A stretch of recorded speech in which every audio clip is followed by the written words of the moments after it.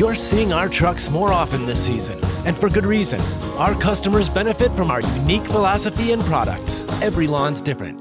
Everybody's budget's different, and Central Missouri Turf is different. Our applicators are all graduates in turf management. We use only the safest, most effective products available. Give us a call and see how our difference can make a big impact on your lawn and landscape. I know a place where beautiful lawns begin. Central